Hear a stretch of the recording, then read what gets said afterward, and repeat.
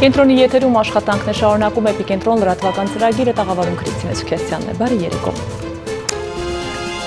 Հայաստանն արտոնյալ պայմաններով 200 միլիոն դոլար վարկ է վերցնում Ռուսաստանից, որը կծախսվի հայկական բանակի սպառազինության արդիականացման համար։ Այդ փողով հայկական կողմը պատրաստվում է գործարանային գնով ձեռք բերել ռուսական արտադրության չափազանց հզոր զենք, որը մինչև այսօր Հայաստանի բանակը չի ունեցել։ Ի պատասխան ընդդիմադիր падգամավորների կասկածների պաշտպանության փոխնախարարը վստահեցրել է, որ վարկից որևէ լումա չի հատկացվելու հոսանքի թանկացման 7 դրամի փոխհատուցելուն, մինչև հեծում աուդիտի ավարտը։ Վարկային համաձայնագիրն այսօր խորհրդարանը վավերացրել է արտահերտ նիստի ժամանակ։ Ռուսաստանը Հայաստանին պետական արտահանման վարկ է տալիս 200 միլիոն դոլար 13 տարով 3% դրույքով։ Պաշտպանության փոխնախարար Արան Ազարյանը միայն այս հարցով հրավիրված ազգային ժողովի արտահերթին զեկուցեց, որ վարկը տրվում է ռուսական արտադրության որակյալ ռազմական տեխնիկա գնելու համար։ Մենք ձեռք ենք բերում նոր զինատեսակ, որը Հայաստանի Հանրապետության զինված ուժերի սպառազինության մեջ չի եղել նախկինում։ Հաշվի առնելով, որ Հայաստանի Հանրապետության զինված ուժերը ստանում են նոր ժամանակակից սպառազինություն, որը էական ներգործություն կընձեռնի Հարավ-Կովկասյան տարածաշրջանի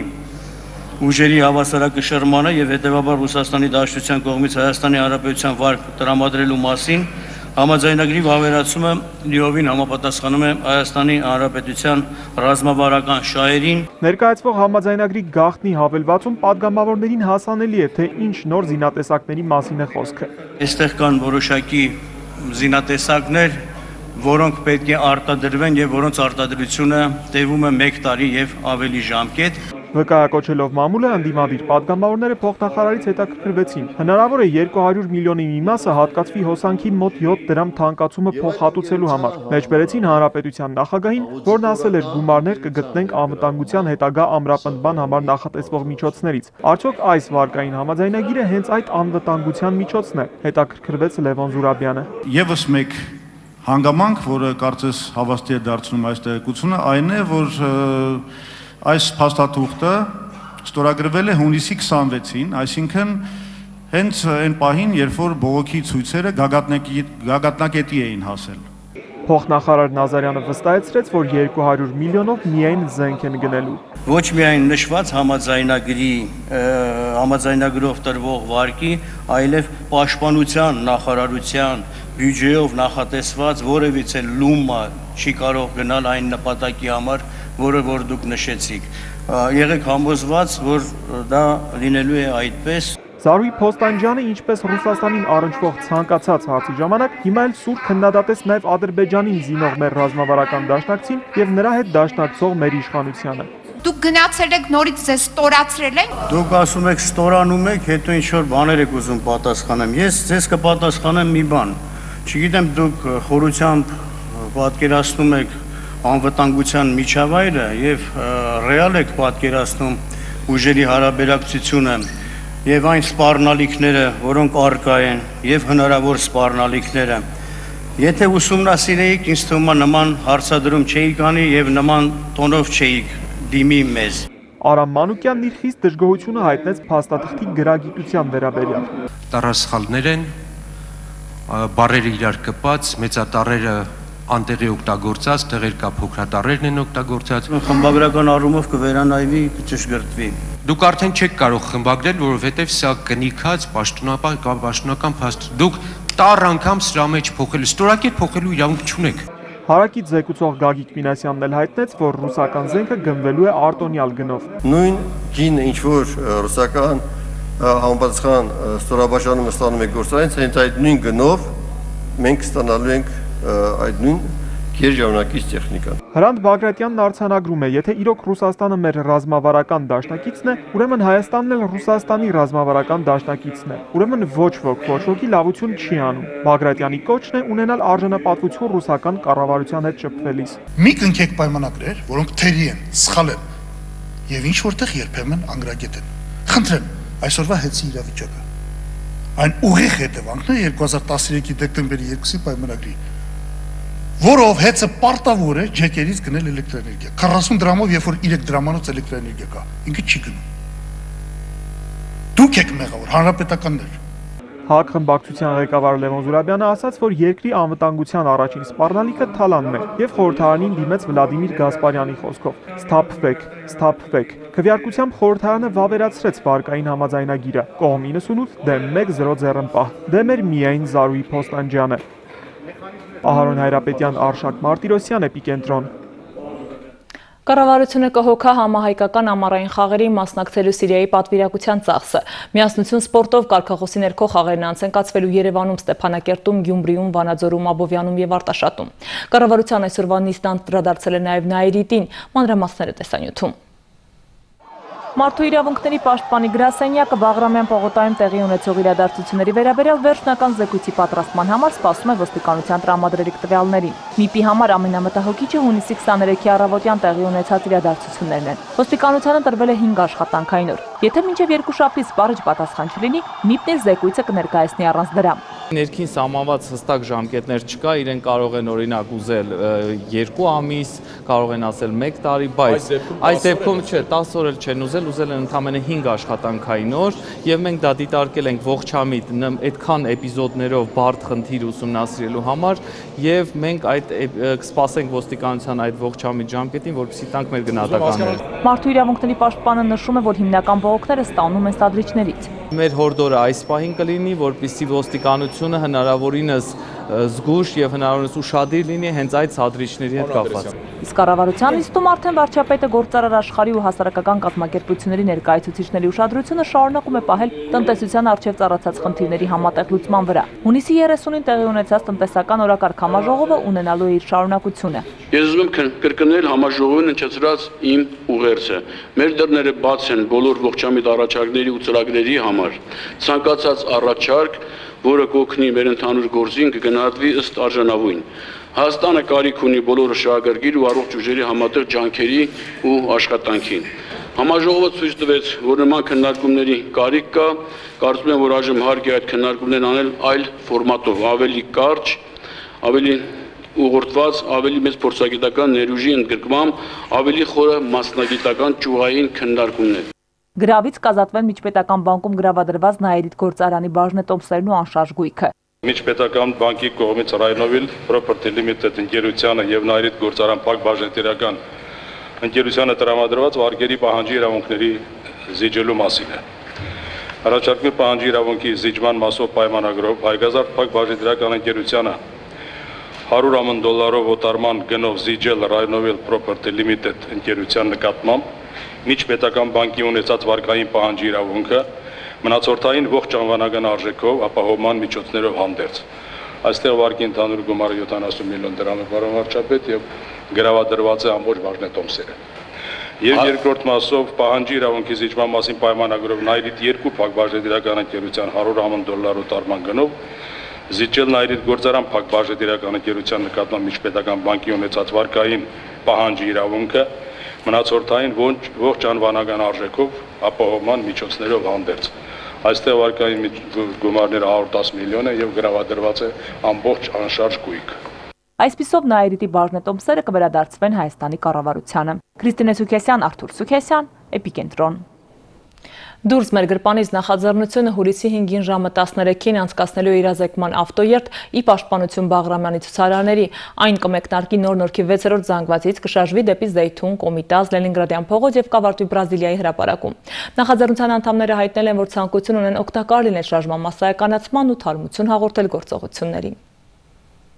Իրազեկման ավտոերտի պաշտպանություն Բաղրամյանի ցուցարարների դուրս մեր գրպանիցն այս կերպ իր աջակցությունն է հայտնում ոչ թալանին նախաձեռնությանը։ Վազգեն Սարգսյանի ուրեմն ինստիտուտի դիմացի մայթից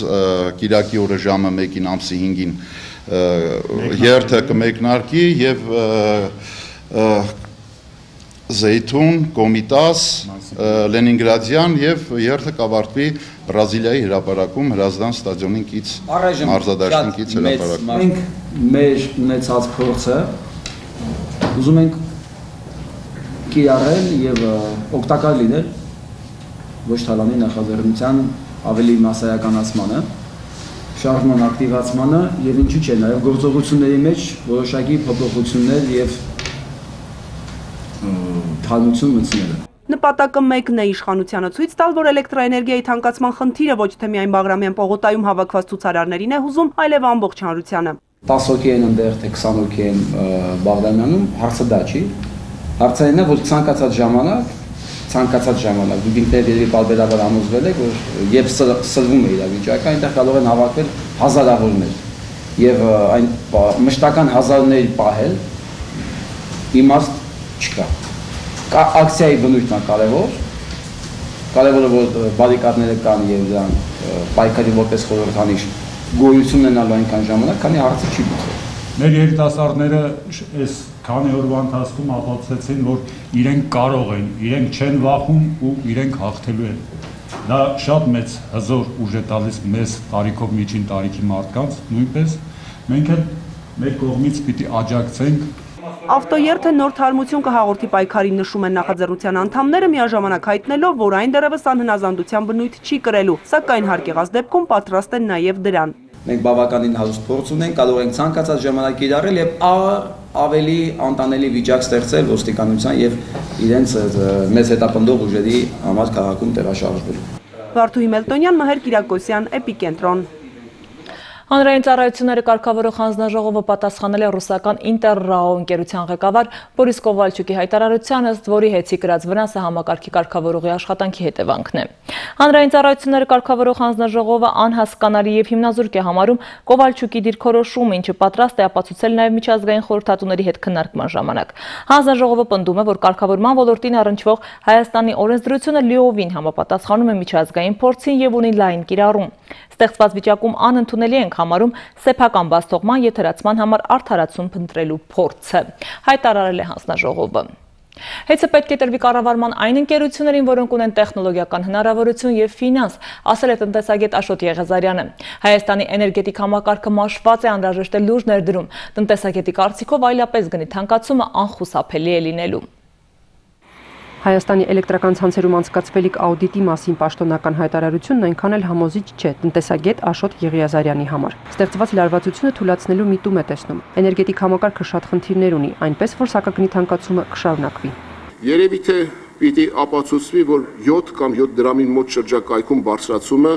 ավելի հիմնավոր է, քան թե 17 դրամ, որը ի սկզբանե ուրեմն ներկայացված է եղել հեծի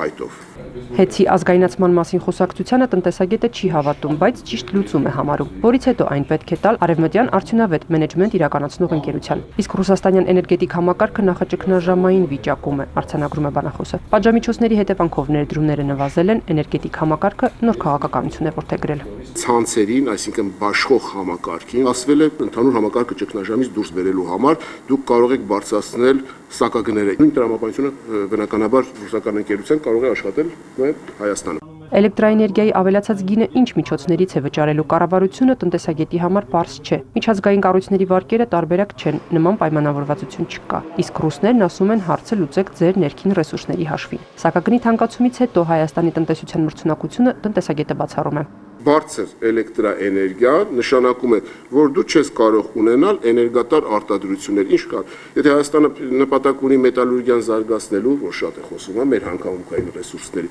չի կարող։ Մետալուրգիան էներգատար է, քիմիական արդյունաբերություն չի կարող։ ԵՏՄ-ն նախատեսում է ունենալ միասնական էներգետիկ շուկա, այն հավանաբար կգործի 2019 թվականին։ Հասմիկ Օհանյան, Հովանես Քյուրքչյան, Էպիկենտրոն Վարչապետ Հովիկ Աբրահամյանն ընդունել է հայկական բարեգործական ընդհանուր միության Մարսելի մասնաճյուղի ղեկավար Պատրիկ Մալաքյանին եւ Ռեալեստետ ներդրումային ընկերության նախագահ Ռեմի Մակինաջյանին։ Հյուրերը վարչապետին է ներկայացրել Հայաստանում ծառայությունների մատուցման ոլորտում նախատեսվող լայնածավալ ներդրումային ծրագրերը։ Դրանց շնորհիվ նախատեսվում է աշխարհահռչակ մի քանի ապրանքանիշերի ներկայացուցությունների ներգրավել Հայաստանի շուկա։ Վարչապետ Հովիկ Աբրահամյանի գլխավորությամբ կառավարական պատվիրակությունը հուլիսի 3-ին երկորի աշխատանքային այցով կմեկնի Ֆրանսիայի Հանրապետություն։ Վարչապետը հանդիպումներ կունենա Ֆրանսիայի ազգային ժողովի նախագահ Կլոդ Բարտոլոնի, Ֆրանսիայի կառավարության ղեկավար Մանյուել Վալսի, Փարիզի քաղաքապետ Աննի Դալգոյի հետ։ Հովիկ Աբրահամյանը կայցելի Փարիզի քաղաքապետարանում բացված հայոց ցեղասպանության 100-րդ տարելիցին նվիրված ցուցահանդես Ֆրանսիայում ու Եվրոպայում հայարակելական եկեղեցու առաջնորդարան կհանդիպի Ֆրանսահայ համայնքի ներկայացուցիչների հետ։ Հայաստանի եւ Ֆրանսիայի վարչապետները ֆրանսիական Ալֆորվիլ քաղաքում կմասնակցեն հայկական դպրոցի բացման արարողությանը։ Ճանապարհային ոստիկանության պետ է նշանակվել ոստիկանության ներքին անվտանգության վարչության պետ Արմեն Հակոբյանը։ Հունիսի 29-ին սեփական դիմումի համաձայն աշխատանքից ազատվել է ճանապարհային ոստիկանության պետ գեներալ մայոր Արտակ Հարությունյանը։ Ոստիկանապետ Վլադիմիր Գասպարյանը աշխատանքային հանդիպում է ունեցել ճանապարհային ոստիկանության ղեկավար կազմի հետ։ Տեսանյութը տրամադրել է ոստիկանությունը։ Հուլիսի 2-ին Հայաստանի Հանրապետության ոստիկանության պետ գեներալ լեյտենանտ Վլադիմիր Գասպարյանը աշխատանքային հանդիպում ունեցավ ճանապարհային ոստիկանության ղեկավար կազմի հետ։ Հայտնելով, որ ճանապարհային ոստիկանության պետ Արտակ Հարությունյանը վերցվել է կադրերի ռեզերվ, Վլադիմիր Գասպարյանը բարձր գնահատեց ստորաբաժանման բարեփոխման ուղղությամբ կատարած նրա ծավալուն ու հիմնարար աշխատանքը եւ շնորհակալություն հայտնեց ծառայության համար։ Ներկայացնելով ճանապարհային ոստիկանության նորանշանակ պետ ոստիկանության գնդապետ Արմեն Հակոբյանին Վլադիմիր Գասպարյանն անդրադարձավ այն խնդիրներին, որոնց լուծումը հրատապ է բարեփոխումների ընթացքը շարունակելու, ստորաբաժանումն արդիականացնելու, ժամանակակից ճանապարհային ոստիկանի կերպարի ձևավորման համատեքստում։ Փորձեք ձեր մեջից հանել անտարբերությունը, որ դա իմ գործը չի։ Ինք եթե մի, մի տխմարություն անում է, դա իրանը չի, դա մեր բոլորինն է։ Տղերք, սա է պետք ինքնադաստիարակվել Հենգեն դնել խնդիր, որ մենք աշխատում ենք սենց։ Դուք մեր պատիվն ու անպատվությունն եք։ Քաղաքացին ձեզնով մեզ կամ հարգում է կամ անիծում է։ Ես ուզում եմ գայիշնիկ հասկացությունը ընդմիշտ մոռացվի մեր հասարակության մեջ։ Դրա համար ինչ է պետք։ Դրա համար պետք է ազնիվ լինել։ Վլադիմիր Գասպարյանը ներկայացրեց մի շարք ծրագրեր, որոնց իրականացումն անհրաժեշտ է ճանապարհային ոստիկանության գործունեությունը ժամանակի պահանջին համապատասխանեցնելու համար։ Խոսքը մասնավորապես վերաբերում է ճանապարհային ոստիկանության արագ արձագանքման ստորաբաժանման կազմավորմանը, ճանապարհային ոստիկանի աշխատանքի ողջ ընթացքի տեսաձայնագրմանը, ճանապարհային ոստիկան վարորդ ուղակի շփումների առավելագույն նվազեցմանը եւ այլ ձեռնարկների, որոնք կնպաստեն աշխատանքի արդյունավետության բարձրացմանը։ Ոստիկանության պետ պետը միևնույն ժամանակ ընդգծեց, որ արմատական բարեփոխում կարելի է ակնկալել միայն այն դեպքում, երբ այդ ամենի հիմքում լինի ճանապարհային ոստիկանի ներքին վերափոխումը, սեփական աշխատանքի հանդեպ վերաբերմունքի սկզբունքային փոփոխությունը։ Ես կտրուկ փոփոխությունների կողմնակիցը չեմ։ Ես կարծում եմ, որ պետք է սիստեմավորված աշխատել։ Կերկնեմ նորից։ Մենք բոլորս պետք է հասկանանք, որ եթե վերափոխվում ենք, մենք պետք է տեսանելի եւ լսելի լինենք հասարակության համար։ Դա ով պետք է անի, դա մենք պետք է անենք։ Ինչով պետք է անենք, ինքնադաստիարակման պետք է անենք։ Հանդիպան ավարտին Վլադիմիր Գասպարյանը մասնակիցներին կոնկրետ ցուցումներ ու հանձնարարականներ տվեց աշխատանքների կազմակերպման ուղղությամբ։ Պերինատալոգիայի, մանկաբարձության եւ գինեկոլոգիայի կենտրոնում հունիսի 30-ին արտակարգ դեպքեր եղել։ Ամուսինը հիվանդանոցում կրակել էր ժամեր առաջ կեսարյան հատմամբ ծննդաբերած կնոջ վրա, ապա ինքնասպան եղել։ Այժմ ծննդկանի վիճակը կայուն ծանր է, բայց արկայդրական դինամիկա ասել է կենտրոնի ղեկավար Ռազմիկ Աբ รา համյանը։ Նա նշել է, որ ամեն ինչ անում են, որպեսզի մայրն ու որդին շարունակեն ապրել։ Երկուսն էլ առայժմ գտնվում են վերակենդանացման բաժանմունքում։ Վիճակի վատացում չկա, դա արդեն իսկ լավ է գիտակցություն ունի, հասկանում է, բայց ցույց է տալիս, բայց արհեստական շնչառության տակ է, ասել է բժիշկը։ Հայաստանում աճել է անտառային հրդեհների քանակը, բուսածածկ տարածքներում հրդեհների վտանգը աճում է, հատկապես հուլիսից սեպտեմբեր, քանի որ հենց այս ժամանակահատվածում են Հայաստանում ներթափանցում տաք հոսանքներ։ 1948-ից 80 թվականների համեմատ 80-ից 2012-ին անտառային հրդեհներն աճել են 40%-ով։ Միտումը վտանգավոր է։ Հանրապետության տարածքում մեծացել է բարձր ջերմային ֆոնով եւ սակավ տեղումներով ամառների կրկնելիությունը։ Նախադրյալները եղանակային պայմաններն են, սակայն հրդեհների մեծամասնության պատճառը մարդկային գործոնն է։ Չորացած խոտի այրումը ոչ միայն աղտոտում է մթնոլորտն, այլև կարող է անտառային հրդեհ առաջացնել։ Վերջի 5 տարիներին 10 թվականից մինչև 2015 թվականի հուլիսի 1-ը մենք ունեցել ենք 224 դեպք Այն դեպքում, երբ որ 11 տարիների ընթացքում ունեցել ենք ընդամենը 155 դեպք։ Անտարային հրդեհները հաճախակի վնասում են նաև բերքատու այգիները։ Առանց այն էլ սակավ անտառներ ունեցող երկրի համար տարեստարի աճող հրդեհները լրացուցիչ գլխացավանք են։ 2005-10 թվականներին հրդեհների կողմից անտառներին պատճառած վնասը նրանց ցուցանի տրված տեղեկատվությամբ եմ ասում, կազմել է 504 միլիոն դրամ։ Դժվար հասանելի վայրերում հրդեհների մարման համար կառավարությունը գնել է ջրթափ սարք, որն ուղղաթիռի միջոցով հանգցնում ու փրկում է բուսածածկ տարածքը կրակից։ Մենք կարողանում ենք այդ ջրթափ սարքը բարձրացնել 2.5 տոննա ջուր ատանում ինքը։ Ջրաբաներից ջուր է վերցնում եւ հրդեհների ժամանակ խոշոր անտարային բուսածածկ կարողանում է դրանով ուրեմն իրականացնել հրդեհաշրջում։ Նոր գնաց 100 հատ 20 լիտր տարողությամբ ուսապարկերն էլ անտարային հրդեհների մարման լրացուցիչ գործիք են։ Պատասխանատուներն առավել ռիսկային գոտիներում կազմավորել են նաև հարագարձական խմբեր։ Տաթև Դանիելյան Հովանես Քյուրքչյան, Էպիկենտրոն։ 2016 թվականից փոխվելու է Եվրասիական տնտեսական միության օրենքների տեխնիկական կանոնակարգը։ Գործարարները երկրորդ երկրից ապրանք ներմուծելու դեպքում պետք է ներկայացնեն գնահատման փաստաթուղթ։ ԵՏՄ կոլեգիայի անդամ Վալերի Կորեշկովի խոսքով դա թույլ է տալու խուսափել անորակ ապրանքի մուտքը շուկա։ Էկոնոմիկայի նախարարությունը փոփոխությունները մանրամասն ներկայացրել է գործարարներին։ Գործարարները պատրաստ են 2016 թվականից Եվրասիական տնտեսական միության օրենքների որոշ տեխնիկական կանոնակարգերի փոփոխությանը։ Երկրորդ երկրից արտադրանքի ներմուծման ժամանակ որոշ ապրանքների համար կպահանջվի համապատասխանատվության գնահատման փաստաթուղթ։ Հիմնականում պարենային ապրանքների մասին է խոսքը գնում։ Կարևոր է նաև լաբորատորիաների վերազինումը, քանի որ Հայաստանն էլ է փորձարկումներ անելու նշեց Էմիլ Տարասյանը։ Դրա շնորհիվ գործարարները սահմանին բերի արտահանման խնդիր չեն ունենա։ Հայաստանի շուկայում շրջանառվող այդ ապրանքներ եւ արտադրվող ոչ միայն արտահանվող եվրասիական տեսական միություններ պետքա բավարարեն տեխնիկական նորմեր այդ տեխնիկական պահանջներին, որոնք սահմանված են ծեր կանոնակարգերով։ Մինչև հիմա գործող կարգը կպահպանվի եւս 2 տարի, որպես անցումային ժամանակահատված մինչև նոր փոփոխություններին հարմարվել է։ Տարիներ շարունակ Եվրասիական տնտեսական միությունը իրականացնելու է բազմաթիվ տեխնիկական փոփոխություններ։ Будут действовать те документы, которые выданы։ Մինչև 2018 թվականը կգործեն այն փաստաթղթերը, որոնք տրվել են։ Այսինքն կա կարելի է առանց խնդիր աշխատել։ Եթե գործարարը 2016 թվականին առաջին անգամ ապրանք արտահանի, կաշխատի նոր փոփոխություններով։ Վալերի Կորեշկովի խոսքով ԵՏՄ-ի ներսում ապրանքների անվտանգությունը որոշ չափով համապատասխանեցված է եվրոպական չափանիշներին, որոշ մասով էլ իրենք են ստեղծել չափանիշ։ Те требования, которые сегодня есть, они Այն պահանջները, որոնք դրված են արտահանողի առաջ, համապատասխանում են միջազգային փորձին։ Օրինակ, եթե ձեր խաղալիքը անվտանգ է, դուք որևէ ավելորդ խնդիր չեք ունենա։ у вас дополнительных проблем не будет։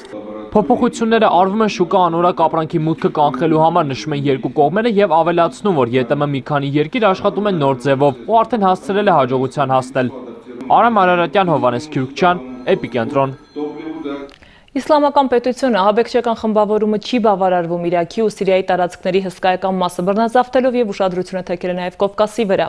Հյուսիսային Կովկասում ԻԼԻՊ-ը մտադիր է սեփական վիլայետ ստեղծել եւ պատերազմ սկսել Ռուսաստանի դեմ, որպեսի այնուհետև խալիֆատը տարածի ամբողջ Կովկասի վրա, հասնելով կենտրոնական Ասիա։ Իսլամիստական ծայրահեղականության եւ մեր տարածաշրջանին դրանից սպասվող վտանգների մասին է Նաիրի Հողիկյանի անդրադարձը։ Չեչնիայի, Դաղստանի եւ Կաբարդինո-Բալկարիայի ահաբեկչական խմբավորումների բազմաթիվ առաջնորդներ հավատարմության երթում են տվել իսլամական պետությանը եւ սկսել են զինյալներ ուղարկել Սիրիա ու Իրաք այդ երկրների կառավարական զորքի դեմ կռվելու համար։ ԻԼԻՊ-ի շարքերը այս կերպ ոչ միայն մեծանում են, այլև աստիճանաբար միս ու արյուն է առնում Կովկասի վրա հարձակվելու ահաբեկիչների վաղեմի ծրագիրը։ Ռուսաստանի իշխանական ու փորձագիտական դաշտն արդեն անհանգստացած է։ Կովկասի եւ Կենտրոնական Ասիայի երկրները պետք է լրջորեն քննարկեն ԻԼԻՊ-ից եկող սպառնալիքները։ ԻԼԻՊ-ի շարքերում մոտ 30000 մարդ է կռվում 80 երկրից։ Սա լուրջ վտանգ է։ Այս սպառնալիքը պետք է կանգնեցնել։ Լարվածությունը թեժանում է, դա արաբական գարնան հետևանքն է։ Եթե գործընթացը չկանգնեցվի, այն նոր տարածքներ կընդգրկի եւ նոր ժողովուրդների գոյությանը կսպառնա։ ԻԼԻՊ-ը ունի իր կոնցեպցիան, իր կոնցեպտը, այսպես կոչված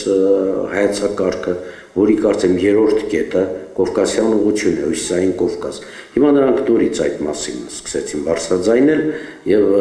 հետաքրքիրն է, որ Ռուսաստանը շատ խիստ հակազդեցություն ունեցավ։ Մինչ այդ կարծես թե մատների արանքով էին նայում, այսինքն թվում էր թե մատների արանքով էին նայում, որտեղ Ռուսաստանի համար դա շատ լուրջ խնդիր է։ Բայց հիմա Ռուսաստանը շատ բարձր մակարդակով իր ուրեմն հատուկ ծառայությունների հաշվետվությունների հիման վրա անում է հայտարարություններ, որ նորից եւ նորից խոսում է այն մասին, որ ԻԼԻՊ-ը շատ մեծ վտանգ է ներկայացնում այս ուղղությամբ Հայ դիվանագետը հատկապես մատնանշում է Ադրբեջանի եւ Թուրքիայի գործոնը որպես ԻԼԻՊ-ին աջակցող պետություններ։ Եթե Ադրբեջանի դեպքում կա պետականության կորստի վտանգ եւ այդ երկրի իշխանությունը սկսել է զգուշորեն վերաբերվել ահաբեկիչների հետ գործակցությանը, ապա Թուրքիան չի թաքցնում, որ զենք եւ մարդկային ռեսուրս է տրամադրում իսլամական պետությանը, առայժմ Սիրիան ու Իրաքը ստրկացնելու, հետո նաեւ հյուսիս ու արևելք շարժվելու համար։ Թուրքիայում այս իրավիճակը թե ինչպես կզարգանա, դժվար է ասել բայց բոլոր դեպքերում իօքուտ իօքուտ մեծ չի լինի դա որտեղ վտանգը գալիս է ԻԼԻՊ-ի կողմից, վտանգը գալիս է ուրեմն մուսուլմանական արմատական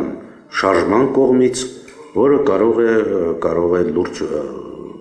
սպառնալիք հանդիսանալ Հայաստանի համար։ Ինչ անի Հայաստանը, որպեսզի կանխի ահաբեկիչների թիրախ դառնալու վտանգը։ Փորձագետները համոզված են, մեկ պետություն անկարող է կանգնել համաշխարհային այդ ճարիքի դիմաց։ Պետք է միասնական պայքար, ինչը արդեն սկսել է հավաքական անվտանգության պայմանագրի կազմակերպությունը, կանխարգելիչ զորավարժություններ անցկացնելով Աֆղանստանի սահմանին եւ քննարկելով ԻԼԻՊ-ի դեմ համատեղ զորքով պայքարելու տարբերակները։ Հայաստանը ՀԱՊԿ լիիրավ անդամ է եւ կլինի պաշտպանված հնարավոր ագրեսիայի դեպքում, իսկ իրանական կողմն արդեն սկսել է հատուկ գործողություն եւ 15 հազարանոց զորք է ուղարկել Իրաք ու Սիրիա։ Այդ երկրի կառավարական զորքերի հետ իրանցի զինվորները հասցրել են ազատագրել մի քանի քաղաք, քրդական խմբավորումները կտրել են ցամաքային կապը Թուրքիայի եւ ԻԼԻՊ-ի միջև, իսկ արևմտյան դաշնակիցների ջոկատները օթային հարվածներ են հասցնում ահաբեկիչների ճամբարներին։ Ռուսաստանի իշխանությունը ԱՊՀ երկրների պաշտոնյաների հետ քննարկում է հասարակությունների մեջ քարոշչական աշխատանքներ տանելու հարցերը եւ բացատրելու, որ 5-ից 6000 ադրբեջանցի ահաբեկիչները Պակիստանում մարզվելուց եւ ԻԼԻՊ-ի շարքում կռվելուց հետո չարիք են դառնալու առաջին հերթին Ադրբեջանի, հետո հարևանների համար։ Ոստի այսօրվանից դա պետք է կտրել արմատից։ Նաիրի Հոխիկյան, Հովանես Քյուրքչյան, Էպիկենտրոն։ Միացյալ Նահանգների կոնգրեսի գրադարանում հայտնաբերվել են հայոց ցեղասպանությունից փրկված հայերի բացառիկ տեսանյութեր, որոնք բացառիկ են, քանի որ նախկինում համարվում էր, որ ցեղասպանության տարիներին եղեռնից փախուստի դիմաց հայերը պատկերված են եղել միայն լուսանկարներում։ Այսպիսով կոնգրեսի գրադարանում հայտնաբերված տեսանյութերը հայերի ցեղասպանությունը պատկերող առաջին հայտնի տեսագրություններն են։ Տեսանյութերը հաստատել եւ վերականգնել են մասնագետներն ու ցուցադրելու են Իտալիայում այսօր օրին անցկացվող վերականգնված կինո Բոլոնիայի 29-րդ կինոփառատոնի ժամանակ Հայաստան մարդասիրության բնորոշ նոր անվերնագրով։ Միջազգային նորությունները կներկայացնի Ֆրիդա Ղազարյանը։ Տնտեսական ճգնաժամի եւ դեֆոլտի ֆոնին նաև արտակարգ ֆինանսական միջոցառումների սահմանումից հետո Հունաստանի բնակիչները շտապում են առաջին անհրաժեշտության ապրանքներ կուտակել։ Դեռևս հանգստյան օրերին հունական սուպերմարկետների աշխատակիցները չէին հասցնում դարակների վրա ապրանքներ դնել։ Մթերքը եւ ոչ պարենային ապրանքը խանութներից տարել են սայլակներով։ Բանկոմատներից կարելի է օրական մինչև 60 եվրո հանել, իսկ թոշակառուներին թույլատրվում է հանել օրական մինչև 120 եվրո։ Բանկերը փակվել են մինչև հանրակրվեի անցկացումը հուլիսի 5-ը։ Բնակիչները պետք է ասեն կողմ են միջազգային վարկատուների առաջարկած պայմաններին, թե ոչ։ Հունաստանի ֆինանսների նախարար Յանիս Վարուֆակիսը հայտարարել է, որ պատրաստ է հրաժարական տալ, եթե հույների մեծ մասը հանրակրվեի ժամանակ ասի խիստ տնտեսման ծրագրին, որն առաջարկում են միջազգային վարկատուները։ Նա նշել է, որ Հունաստանը չի ինլայնի տնտեսությունը եւ ձևացնի, թե կարող է մարել բոլոր պարտավորությունները։ Վարուֆակիսը կոչ է անում հույներին առաջիկա հանրակրվեի ժամանակ դեմ քվեարկել տնտեսման խիստ միջոցառումների ընդունմանը։ Ընդ որում նա համոզված է, որ քվեարկությունը ոչ մի կերպ չի անդրադառնա Եվրագ գոտում Հունաստանի ճակատագրի վրա։ Ամերիկայի Միացյալ Նահանգները եւ Կուբան պաշտոնապես վերականգնում են դիվանագիտական հարաբերությունները, որոնք խզվել էին 54 տարի առաջ։ Ամերիկայի Միացյալ Նահանգների նախագահ Բարակ Օբաման եւ Կուբայի նախագահ Ռաուլ Կաստրոն փոխանակել են նամակներ, որոնցում պայմանավորվել են բացել իրենց դեսպանատները երկու երկրների մայրաքաղաքներում։ Կուբական կողմի համաձայն դա կարող է տեղի ունենալ հուլիսի 20-ին։ Հարաբերությունների լիարժեք վերականգնման համար դեռ երկար ճանապարհ պետք է անցնել, դեռ շատ տարաձայնություններ կան։ Կուբան պնդում է, որ Ամերիկան վերադարձնի 116 քառակուսի մետր տարածքը, որտեղ տեղակայված է Գուան Գուանտանամոյի ծովառազմակայանը։ Ամերիկայի Միացյալ Նահանգները վարձակալում է Գուանտանամոյի ռազմակայանը 1903 թվականից, սակայն առաջիկայում պաշտպանության նախարարի մակարդակով հայտարարվել է, որ օրակարգում այդ հարցը բարձրացված չէ։ Բացի այդ, Հավանան պահանջում է Վաշինգտոնից լիովին հանել Կուբայի հետ առևտրի էմբարգոն։ Նախագահ Օբաման այդ առաջարկները ներկայացրել է կոնգրեսին, սակայն օրենսդիրներից շատերը դեմ են դրանց միևնույն ժամանակ եւ դեմոկրատները եւ հանրապետականները կողմ են երկու երկրների միջև դիվանագիտական հարաբերությունների վերականգնմանը։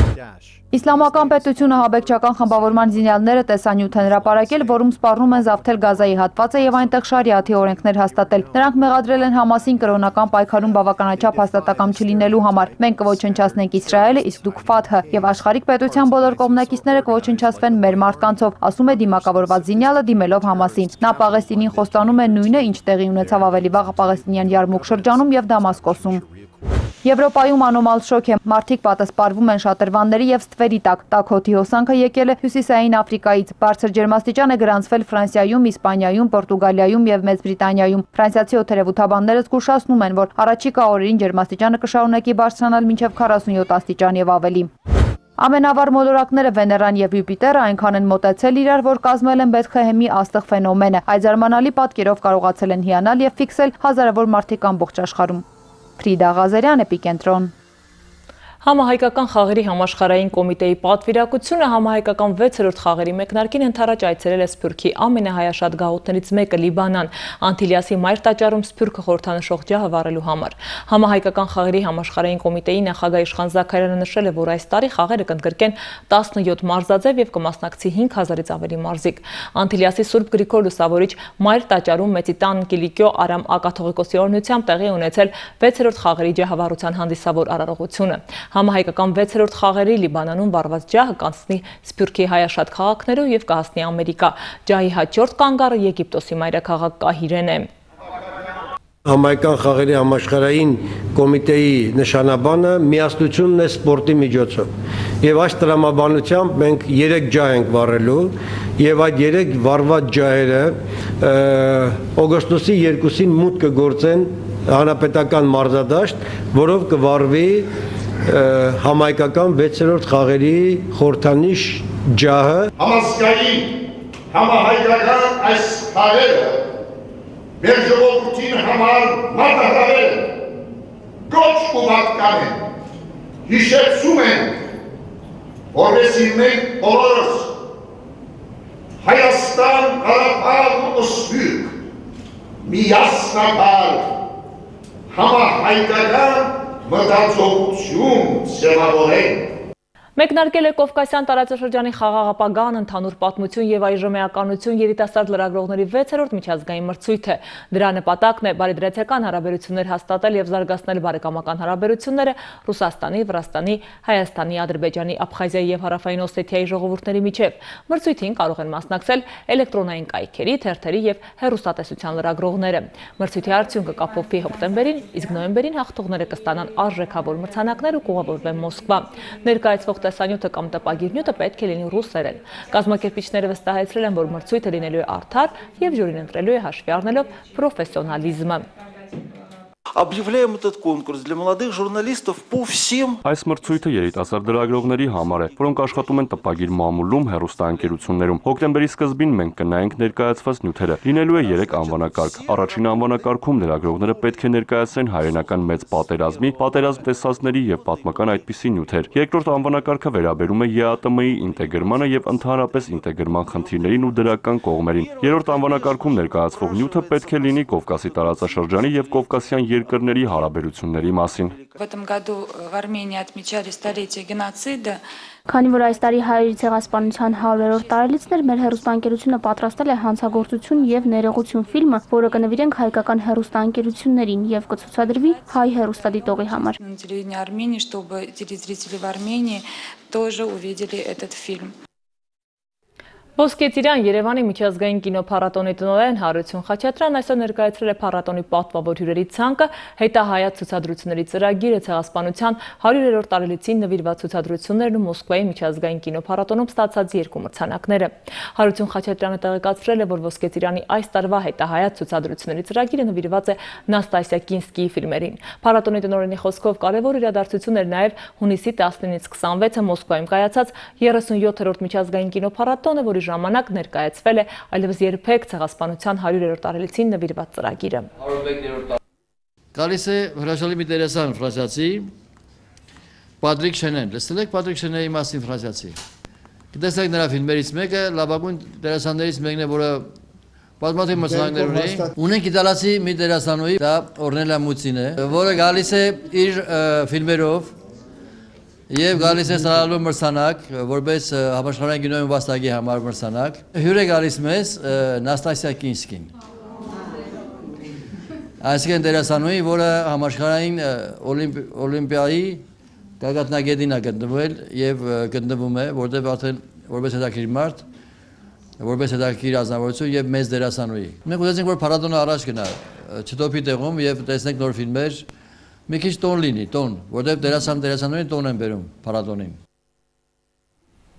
Պատանի երաժիշտների 4-րդ միջազգային փառատոնի ընթացքում Արցախում է Լյուբով Կազարնովսկայան։ Օպերային երգչուհին վարպետաց դասեր է անցկացնում Սայեթնովայի անվան երաժշտական քոլեջում։ Երգչուհին համոզված է սահմանին հանգիստ չէ, փոխարենն Արցախում մշակութային միջոցառումների պակաս չկա։ Իսկ դա հուշում է, որ մարդկանց ներաշխարհն է խաղաղ։ Ստեփանակերտի երաշտական քոլեջում լսումներ են։ Հանրահայտ օպերային երգչուհին ծանոթանում է Արցախցի սաների հնարավորություններին։ В рамках фестиваля Փառատոնի շրջանակներում մենք սկսում ենք վարպետաց դասերը։ Նպատակ ունենք հետագայում օպերային կենտրոն ստեղծել։ Տպավորություններս մեծ են։ Անզուգական գեղեցիկ է Արցախը։ Սա Լյուբով Կազարնովսկայի երկրորդ այցն է Արցախ։ Ռուսաստանաբնակ Արցախցի բարերար Հայկ Մաղաքելյանի առաջարկով է այստեղ։ Արցախցի ստեղծագործողների տվյալներն օպերային երգչուհուն գոհացնում են։ роскошные голоса,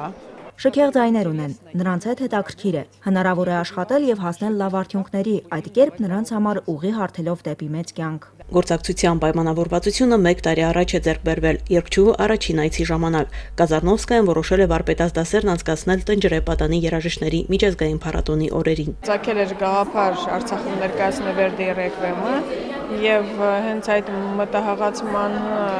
հետ նաեւ որոշվեց զուգահեռ նաեւ կազմակերպել այստեղ վարպետության դասեր եւ Լյուբով Կազարնովսկայան իմանալով որ Արցախում արդեն 4-րդ անգամ պիտի կազմակերպվի Տնջրե պատանի երաժիշտ կատարողների միջազգային փառատոնը ցանկություն հայտնեց հենց այդ փառատոնի շրջանակներում կազմակերպել նաև իր վարպետության դասերը մեր երգիչների համար։ Խորհուրդներ Լյուբով Կազարնովսկայից Արցախցի երաժիշտների համար վարպետաց դասերն աննախադեպ հնարավորություն են։ Ամեն անգամ շփվելով նման հեղինակությունների հետ նրանք արդեն ձեռք են բերում նաև նոր ունակություններ, նոր որակներ։ Տեղյակ է, որ սահմանին հարաբերական անդորը հաճախ է խախտվում։ Փոխարենը խաղաղությունը մարդկանց հոգիներում է, ասում է երգչուհին։ Это та земля, где надо творить. Это та земля, где сейчас не покой. Սա այն հողն է, որտեղ պետք է արարել, որտեղ հանգիստ չկա, բայց նման միջոցառումներով է հնարավոր մարդկանց մոտ ճիշտ տպավորություն թողնել, որ պետք չէ վախենալ ու չգալ Ղարաբաղ։ Այստեղ կարելի է բացել հոգին ու սիրտը եւ բոլորը միասին արարել, որովհետեւ սա է Ղարաբաղի խորհուրդը։ Մարինա Մկրչյան, Մերուժան Հայրապետյան, Էպիկենտրոն, Արցախ։ Ալեքսանդր Սպենդիարյանի անվան օպերայի եւ բալետի ազգային ակադեմիական թատրոնում 3 մեկնարկել է Հայաստանի 4-րդ միջազգային բժշկական համագումարը, որը շարունակվելու է մինչև հուլիսի 4-ը։ Միջոցառումն անցեկացվում Հայաստանի Հանրապետության առաջին տիկին Ռիտա Սարգսյանի հովանու ներքո գլխավոր գործընկեր Vivassel MTS ընկերության աջակցությամբ։